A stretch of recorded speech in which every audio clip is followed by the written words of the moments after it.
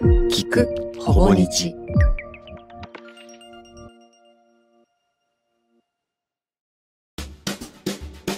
ウェブサイトほぼ日刊糸井新聞上で展開しているお店 5DW メンズショップ石川。その店主であるスタイリスト石川明は実は大のファミレス好き。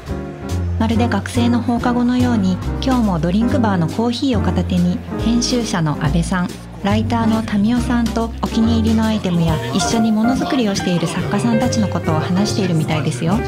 ちょっと仲間に入れてもらいましょう。アフター 5DW ラジオこれ自分のプロフィールもあんま書いたことあまあそうないんだよですね石川さんは、えっと、スタイリストでいいんですよね。そうです。スタイリスト。現役スタイリスト。肩書きとしては。スタイリストですけど僕でもスタイリストっぽくないというか、うん。他のこともたくさんされててプロデューサーだったりとそうか、だねなんかちょっと裏のールサーみたいな。にはスタイリスト現役うん。かっこ笑いなの、かっこ笑い方ですよ。そこ笑笑いが入入るプロフィール。いやでもいつもこれでうん。何やってるんですかってあプロフィールくださいって言うじゃん。編集者の人とかふざけんなってちょっと思いますけどね。いやでも欲しいんですよ編集者何ちわか書いていいか分かんない近況どうなんですか？もらわないと書けないよな。そうだよね適当なこと書くことになっいちゃうや君分かってないんですよ僕のことっていうよくいじめをしてました。それやだね。嫌でしょ。でも今の活動を見るとやっぱウルトラヘビーがね中心じゃないですか、ウルトラヘビーってスタイリストっていう肩書きとはちょっと違う活動の仕方ですよね、まあほぼ日も違うから。確かにそうですねとかってなってくるとまあでも過去遡るとブルータスやってたり、うん。ターザンやってらっしゃったりとか、うん。ね、そこら辺のマガジンハウスだったりナンバーとかですか？ナンバーやってました。ね。ナンバーも。ナンバーもスタイリストじゃなかったね。ライターだった。ああそうまあそうですよね。もう書き手の人だった。からですよだから割と本当ボーダレスな動きを見せてるスタイリストスタイリスト。ナンバー編集部はスタイリスト初らしいスタイリストがページ元の初初めてらしいあそうですか。へえだからスタイリングってどうなどうなってるんですかって言わちょっと嘘ついて別料金になりますよって。ちょっとあずるいですね。いやでもまあ別料金まあそうそう本当に別料金ですよね。別料金。うん確かだからスタイリングと原稿とっていうになるほど。感じえマガジンハウスでそれやってた頃もうん。あれなの？スタイリングやってそのページで原稿も自分で全部書いてたの自分で書いてた特にあの自分のファッションページは自分で原稿書いてた、うんうんうんうんだからキャスティングもスタイリングもうん。全部自分でやってた、まあね。うん。だからなんか原稿早いしうん。褒められてたよよく。だってカーサブルータスとかもねやってましたカーサブルータスよね。カーサブルータス連それこそほぼ日にも出てもらったキキちゃんとかとうんうんうん。お往復書簡的な連載やさんかな。ってましたね。岡尾さんと長尾智子さんかな、うん。うんそうそうたるメンバーですね。そうそうたるメンバー。だからあと原稿があの人たち面白くてああ、俺より面白くてまあでも石川さんも相当面白いです俺よねの投げかけよりも返ってくるのが断然面白くて、そうなんだ。これ面白かったんですよ。はあ。でもあんなジすごいね。ャジーな企画ないですよね。ないかも。もうカチカチに決めて動くのは多いですけど。そうです。よ、ね割と面白い企画だなまあ何言ってんだっていう話だったけど、まあいやまあまあでも。いやでもちょっとやりたいんだよねみたいな。うん当然それはなんか連載がちょうどなくななくなりそうだったんで、うん。ちょっと傘なんかないかなって。いう、うん。まあそれやりたかったんでいいやそんで実はあれあれさ実はその少しその工房日の今の仕事とちょっと通ずるものがああはいはい。あ女性に、うん。えー、と投げかけるわけですよ。うん。例えば僕のこの時計どうなんっていう投げかけるわけです。で大体、うんバカじゃねえのって言いたいわけ言われたいんあですよ。言われたいんです叱られたい叱られたいそんで叱られたいんだけど、うん。なんかこうあの要するに叱られないと男の買い物と女の買い物は違うのよとか、うん。面白くない。んそうね。うん。確かに。女の人に褒められるとそんな面白くないんだよはいはい。バカなんじゃないって言われた方が本当だね。でしょみたいなのがあって。それは石川さんの本当個人的な企画ですよね。そうそうそう なんだけど連載やってるうちにちょっと気づいたのは、うん。キキちゃんも岡尾さんも長尾さんも、うん。最終的には褒めてくれるんですよ だから企画内容が崩壊した違う違う違うこれは僕を責めてもらってけなしてほしいっていそうそうけなしてほしかったんだけどでもなんか結局あいいんじゃないそれみたいな話になって。いいもの俺もいいと思うみたいな。で結局よくねえかって話で終わって なんかちゃんちゃんみたいな終わり方してちょっと俺の意図とは違ってくるまあ頼んだ人が頼んだ人なんで知り合いだから、はいはい、うん。まあみんな結局趣味がちょっと似てるっていうのもあって、うん。まあ、こういうことを言うとみたいいいですよねいい企画でしたね。そうそうそうそう。だから、うん。スタイリストっていうよりもなんだろうね。なんでしょうね。ちょっともう本当ライターさんも編集もやりますなんか全部全部やりますよねだから意外と逆に言うとスタイリストのメインストリームというか、うん。を通ってない。ああまあそうですね。だからそのコンパイファッションチームみたいなとかブルータスファッションクルーみたいのは通らないんです。そっか。やりたくない。やりたくない仕事もないし、うん。あと本当にちょっと心の中でうん。かっこ悪くねえかっていうのがあって、ファッション。はいはいはいはなんかえー、そんなイタリア人みたい？っていうのとかい 俺だぜみたいなのがあって。いやだからなんかなんか嫌だった。なるほど。だから僕はブルータスでやってたのもやってたことはもう大道具さんですよ。あものすごい大道具さんの仕事で、あうん。でその一部が服なのうん。なるほど。だから大道具としてじゃじゃあ明日この格好の服あのさせたい時に、うん服ともうグッズと周りのものを全てがスタイリングめちゃくちゃでもマルチプレイヤーで編集者としてはありがたいですよね。だから全てなんかそれをしたいんで。うん。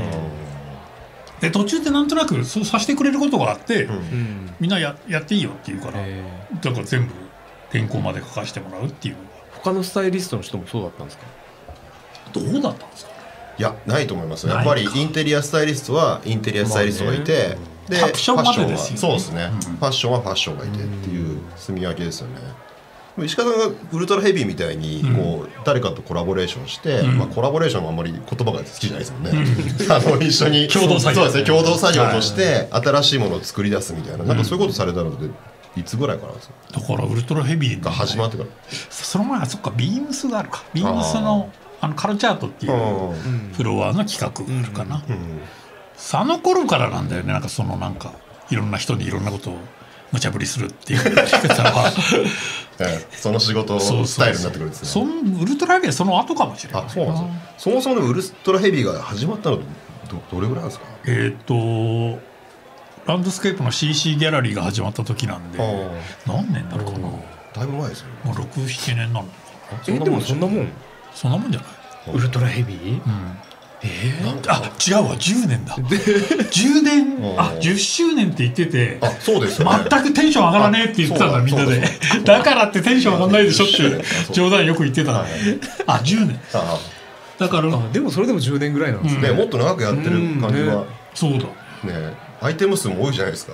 出てくるねアイテム数すごい結構多いですもんね。ただなんか最初はちょっとそのイベント的なうん。あのなんていうかな最初は僕と鵜飼君がウルトラヘビーっていうブランドを T シャツ作ってたり、うんそのタイベックを作ってたりしてたんだけど、途中で神山とうんその CC ギャラリーっていうランドスケープを始めたギャラリーで、うん。その時に神山がやる予定だったあそうですか？そんでなんか僕に「なんかやることないっすかね?」とかって言われて、うん。で僕ら今ちょっとウルトラヘビーっていうのやっててっていう話をしてちょっと合体した。でもウルトラヘビーっていわゆるブランドでもないんですよね。なんかイベントもやったり。まあ自慢じゃないですけど、はい。問い合わせ番号はまずない、まあそうですよね。ホームページが。ないですね。何にもないんだよね実インスタは？体がない。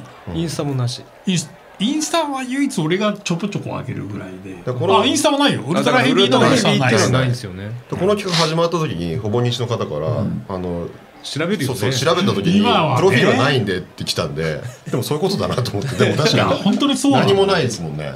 実体がないという鵜飼君は勝手にあの、まあ、うちのその鵜飼君うん。は後で来たんですけど、うん。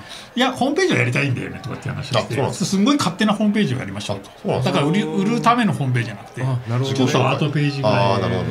やりたいって言っててで神山もいいねって言ってんだけど、うんじゃあ誰がっていう話になると話こうシーンとなる。ほどるなるほど。で10年やってないんだ。10年やってない問い合わせ番号もない。ねそうそう。困る人いるんじゃないかなと思いつつもだからちょっと物質的ではある。あまあそうそうみんなちょっとこの時集まるわ。かるね。ただ締め切れよみたいな。あのちょっとタバコ吸うから締め切っててみたいなのがあって、うん。だからあんまりみんなにそこをなんか答えを見せないというか。なるほどどうでもいいんだよねって思ってんだよ。ねうん。だからそのアウトドアブランドでもないし、ねえ。あのウルトラライトに対してのアンチテーゼでもないし、うん。別に何にも会社組織でもないですね。会社組織で一つもない。ですよね。あとまあ僕の悪い癖として稼いではいけないっていうのはちょっとああ言ってましたよね。そう。大きいコンセプトですよねそうそううそうそう。意外と稼がないだから出世しないように気をつけてるって僕はよく言うんですけれど。売れないように。売れねないように。石川さんの前でどんどん出世していくんですそうよねそう僕の以外の人はみんなダーン出世していくわけですよ本当ですよね。これ本当にね、うん。まあ、自分でも言うのもおかしいんですけど、うん。本当にみんななんかこうレベル上がっていくというか上がってきますよね確かに。アップデートされますよ。すごいですよね。ダーンといくわけですよ。でこれで冗談でよく俺が今金稼いでないから、ん。お前らが今売れてるだけで、うん。俺が金始めあの稼ぎ始めると、ん。お前らガッツ下がるからなって脅かしてる それ脅かしかどうかもちょっと分かんないですけどね。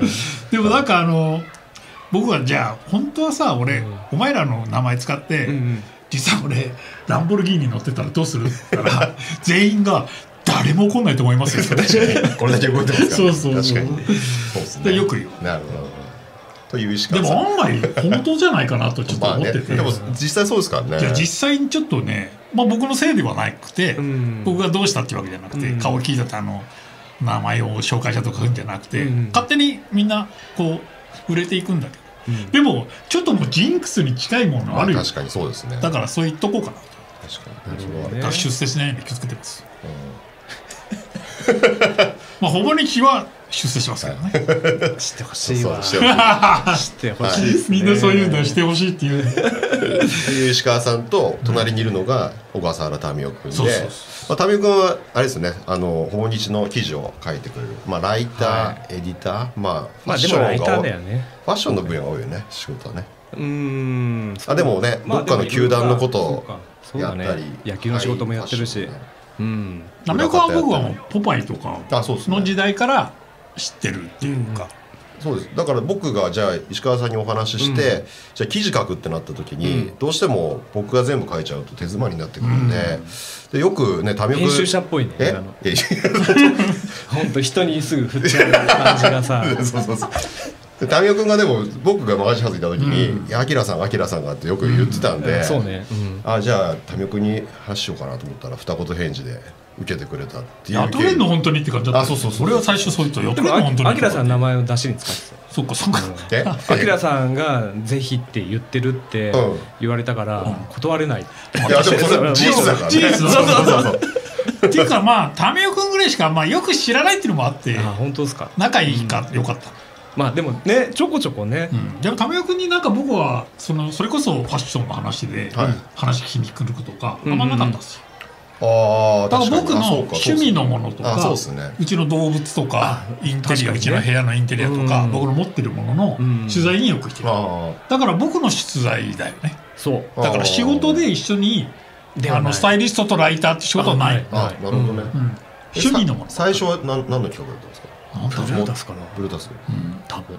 ブルータスのファッション号とかのうん何かのテーマについてうん。秋田さんに書いてもらうとかだったような、そっか。なるほ全然覚えてない。そう俺も覚えてないですね。都合何回ぐらい一緒にお仕事をしいやー。それも覚えてる。でもまあでも10回ないぐらいですよ。たああでも10回10回が出てくるってことはそこそこまあまあ回数多いですよね。まあまあただ本当になんつさっき言った通りメインストリームを歩いてないんで俺。歩かないようにしてるんで。あ だから本当にないのそのライターとスタイリストはないです。ああ確かに。僕個人を取材してるそう全部。だからどう思いますかこれっていうののそれってさっていう話はよくしてそればっかりだよ。そう。でもその10回会ってる、うん。多分うちうのん。半分ぐらいはただ会いに行ってるとか、うん。そんな感じだったもん親民生君よくねそうそういうことしてるそうもんね。そうそうそうさあ別に関係なく君は僕ん家来てるからあーあうちのでかい巨大ガメのグラちゃんとかよく知ってる。そうそうそうそう。行ったことあるの？あるある。あそうなんだ。鳥も知ってるしカメも知ってるええ2回ぐらいは行ったことある来てる来てる。そうなんだ。珍しい。ねなんか民生君もいろんなね面白い人いっぱい知ってるから。うん。だから本当にないんじゃない？ポパイでファッションの仕事した人。ええ。あの僕らが原稿書いてもらったみたいないやでももないですないです。ない？ないです、っていうつながりですよね、うんうんうん。なるほどなるほど。で僕は編集者で、えーマガジンハウスに去年まで急に自分自分で喋んなきゃいけない。喋んなきゃいけないと思って。っていう感じの3人で。太一君もあんまり知らなかったよね昔ね。僕だってそれこそ石川さんとこの企画が始まる前はだって6か月ぐらいしかお付き合いないですそよね。うだそうなの。えなんで知り合ったの？だそれは間にあのボブファンデーションっていうあうん。あのグラフィックデザインとか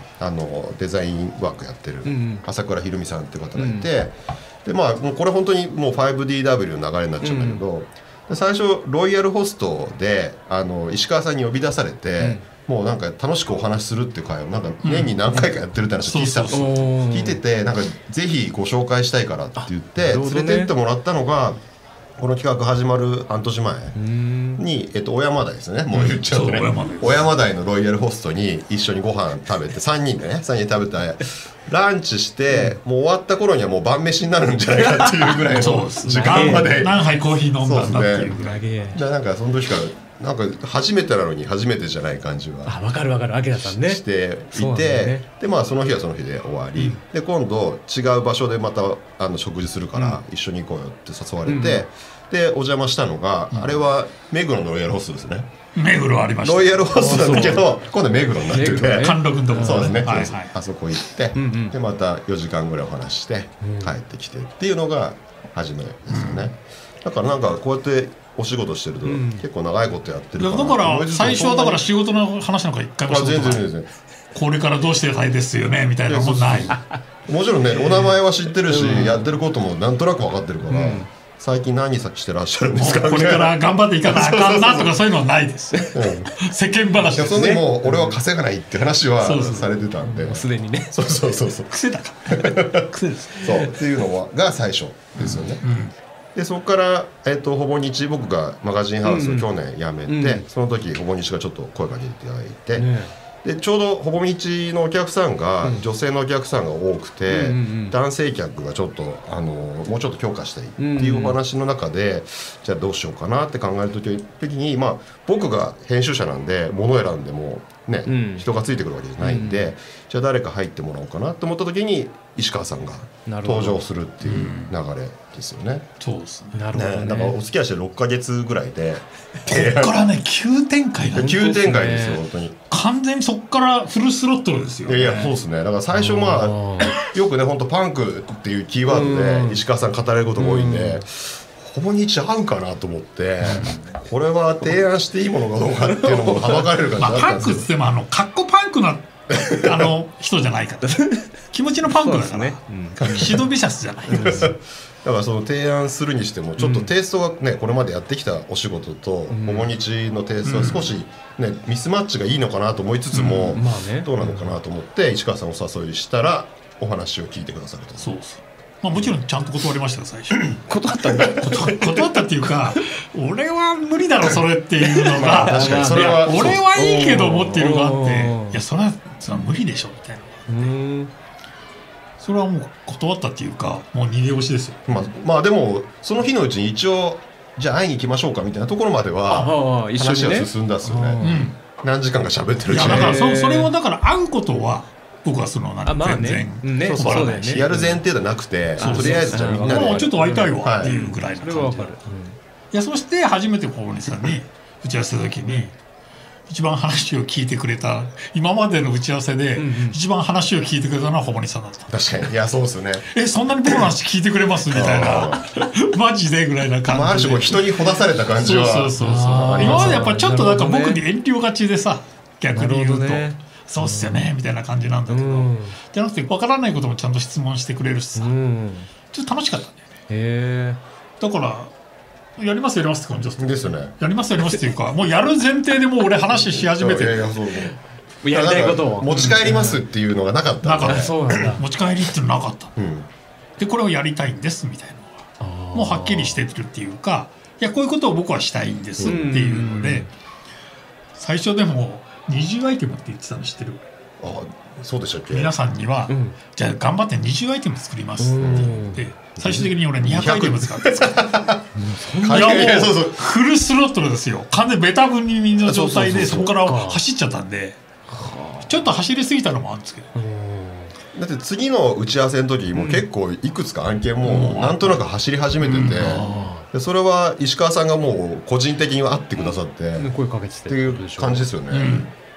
そしたらかける10になってたっていうね最終的には。そんな流れですよね。いやっていうか俺もちょっとちょっと調子に乗りすぎたっていうぐらいな 飛ばし方だったんです。そうですね。いやだから楽しかったんだよね。めっちゃ楽しい。これ本当楽しくてやっぱり声かけられるっていうこんなに楽しいことはなくて。今までやっぱりかけてたんだけど。そっか。やっぱりちょっと向こうもちょっとかばえられたりうん。する。でももう知ってる子たちだからうんみんな知ってるしこれやりたいあれやりたいっていうのがすごくはっきりしてたあとなんかねうあの仕事を受けてくれる側がものすごく前向きだったんだよ。ねああなるほどね、まあ、いろいろねこれね僕、まうん。平たく言うと、はい。俺にちゃんとお前稼げよっていう気持ちもあるんですよ。たまに叱られるんだけどん「マキヤさんちょっと意外意外にちょっと金もらってくれません」みたいなのがあって「なるほど。やだよ」とかって言ってんですけどなるほど。だから、まあ、ちょっと恩返し的な意味もあるしちょっと逆に若い子が「お前頑張れよ」って言われる感じなんで「これ僕ら作りますよ」とか「作るの本当に作れるの?」みたいなさ。ーねえこの前の。無理だろそれみたいなさ。秋広仁君とか。そうそうそうジンクのカップとかね。いやだから僕はだからやめろって言ったよ最初。いやそんな無理だから無理すんなって言って。ねでもやる気満々なわけですよ。だからみんなちょっとやるちょっとちょっと前のめりすぎてみんなちょっと俺が「ん大丈夫?」みたいなとこあって。でそれで声かけてったらそういうこと。珍しいですね。稼いでくれっていうポジションで。本当に稼いでなかったんだよねでそれまでだから関係性があったってことですよね。そうそうそう。だからズルをしてないから。そうですよね。そうねだから本当はあいつらに隠れてこうロイヤリティもらうとかうん。そういうことを僕は一切してないから。うん。だからなんかそのずるいことをしないし、うん。もう俺はもうそのビームスの時は俺ビームスから金もらってっからお前からもらうことないじゃんっていうような。そっかそっか。うんそうそう。だから好きなもの作ればっていう。うん。あとそのやっぱりクラフトの人とはちょっとやっぱずっとやりたくて、うん。もの手作りの人とかうんもの作りの人、うん。この人たちはやっぱ面白くて、うん。ただずっと僕はパンクだパンクだって言ってるのは、うん。実はあの人たちが一番あの作り手が一番大変なんだよ、うん。だから手で作る人が自由に好きなものができて、ん。自由でいいですねってみんな言うんだよ、お金が稼げて、うん。違う違う違う。彼らは言ったものを作んなきゃいけないし、まあ、僕らみたいなディレクターにこうしろああしろって言われて、研ぎ澄まされて、うん。これ出すじゃん。うん。その時一番自由じゃないんだよ、うん。うん自由じゃないし、あいやだから100個ついたら100個掘らなきゃいけなかったり、うん。100個作ん。なきゃいけない、うん。手作りだから、うん。工場じゃないから。そうですね。だから実はこの人たちが一番あの不自由で大変なんだようん。っていうのを分かってほしくて、いやだからクラフトパンクって名前で僕はビームスで店作ったんだよ、なるほどね。そうだから一番大変なのこの人たち。でいやだからクラフトパンクはもうノーディレクションですよ。うん。あの叱られてもいいからもう好きなことやっていいよ。なるほどね。そうそうそう。だから大丈夫じゃないっていうのでやってみればっていう。クラフトパンクってあれでしょ？あのビームスで。ビームス新宿。新宿のねビームスジャパンの中のができた時そうそうゲルショップのインテリアのああの青いブルーシステムの家っていうのがあって。だいやい行きましたもんそうそうそう。れもできた時に。見た見た。すごい話題になったんですけど。だからあれかな？なんかそのもの作るうん。のをちゃんとそのやるようになったりとか。っていうか誰かに作らせるう。ん。いい話ですね。いやでもいい話だよ。本当に。いつも楽しいしやっぱりさ。いやでもやっぱりいやそれこそさまた売れちゃったんだよこの人たちが。うん。みんなね。そうそうそうそう。みん今なはねそうそう。大変な人気者になっちゃって。うん。何年待ちみたいな感じだね。そうそうそう。もうだから数ももう作れないしね。俺が頼めなくなっちゃってうん。俺ウルトラヘビーにももう頼めないから。今 もうちょっとお願いしますよみたいなので じゃないと動いてくれないか土下座ら外交でまあ年に1回か2回だなぐらいな感じなんですよ。なかなか会ってくれねえって言うんですそうよ会ってくれないんだよ いやだからその騙し討ちじゃないと会ってくれなかったりするんで。えこの 5DW はいつ考えたんですか？その時。その時。えもう考えてた。えいやいやいや会った時にパッと？そう。そうなの？全然だからここあなんかここに最初の打ち合わせの時うんに初めてかな。なんか考えてない。ノープラン。だってちょっと断り気味だったし。ちょっと引き気味だったし。あそうそうそう。その割にはもうぶぶ最初の案がありましたよね。僕あったでしょあれ？僕ありましたっけ？あったかな？あったの。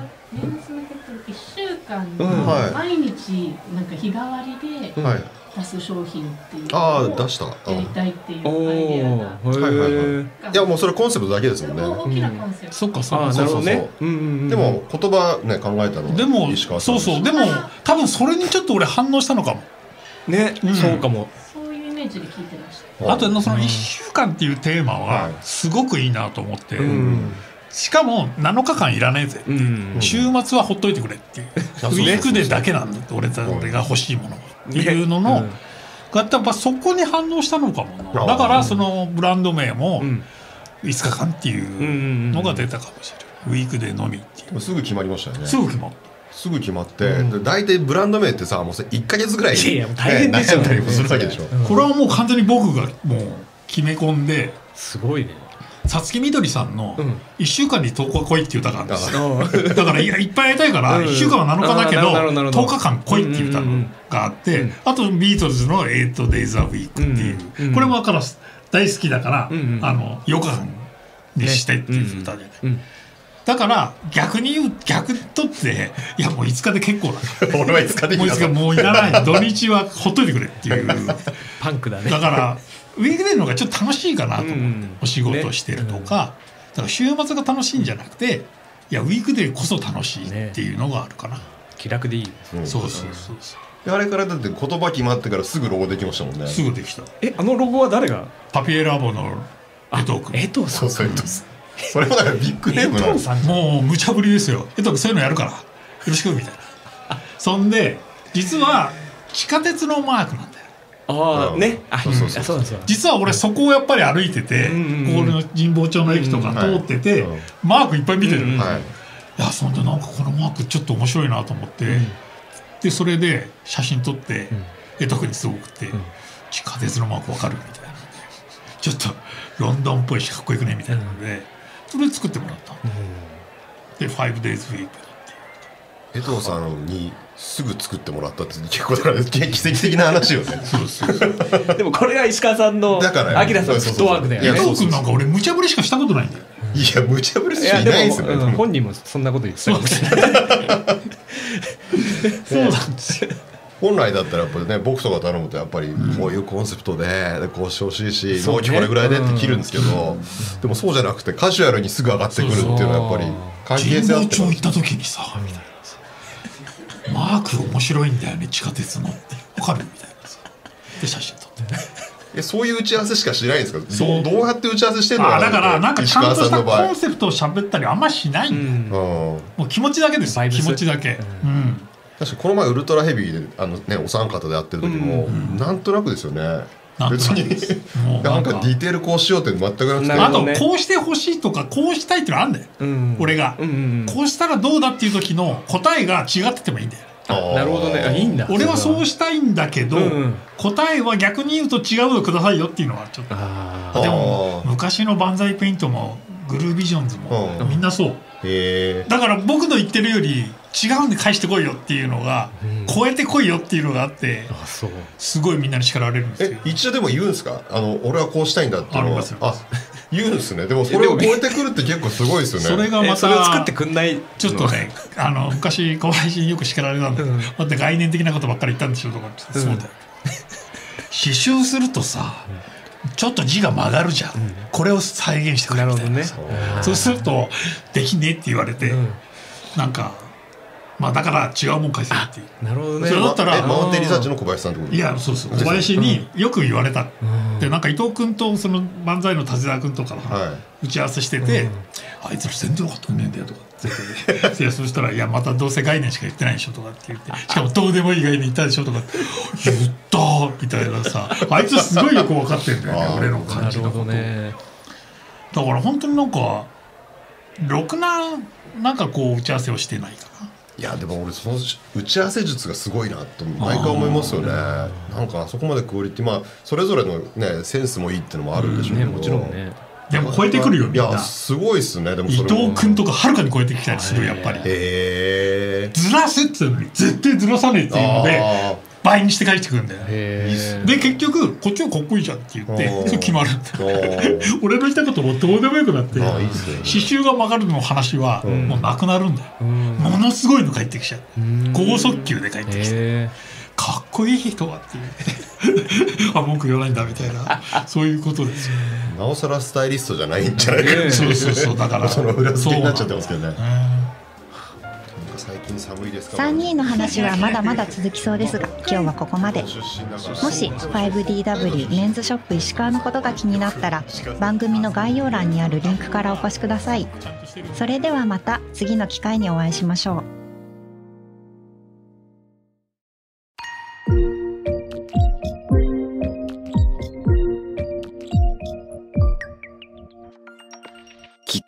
ほぼ日。